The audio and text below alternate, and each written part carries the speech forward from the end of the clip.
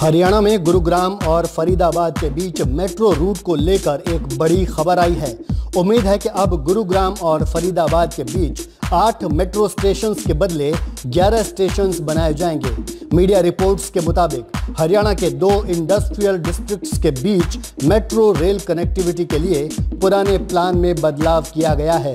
गुरुग्राम और फरीदाबाद के बीच metro route के लिए जो डिटेल्ड प्रोजेक्ट रिपोर्ट पहले तैयार की गई थी, अब उसमें बदलाव की खबर कई मीडिया प्लेटफॉर्म्स पर है। मीडिया रिपोर्ट्स में कहा गया है कि 11 मेट्रो स्टेशन वाली नई डीपीआर मंजूरी के लिए हरियाणा के मुख्य सचिव विजय वर्धन के पास भेजी गई है। गुरुग्राम मेट्रोपॉलिटन डेवलपमेंट अथॉरिटी यानी जीएमडीए के एक अफसर के मुताबिक मुख्य सचिव विजय वर्धन की मंजूरी के बाद जमीनी स्तर पर मेट्रो का काम शुरू हो जाएगा। हरियाणा के मुख्यमंत्री मनोहर लाल खट्टर ने साल 2016 में गुरुग्राम और फरीदाबाद के बीच मेट्रो कनेक्टिविटी का ऐलान किया था।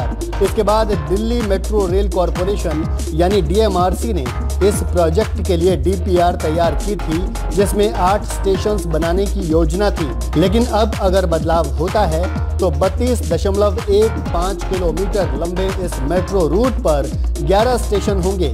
इनमें से छह गुरुग्राम ज़िले में और पाँच फरीदाबाद ज़िले में होंगे।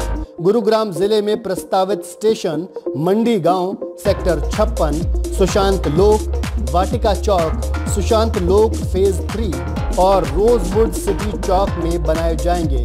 पुरानी डीपीआर में कुल आठ स्टेशन का ज़िक्र था, जिनमें से केवल तीन स्टेशन गुरुग्राम ज़िले में बनने थे, जबकि पाँच फरीदाबाद ज़िले में बनने थे। सितंबर 2020 में फरीदाबाद से गुरुग्राम के बीच मेट्रो रूट का सर्वे भी किया गया था।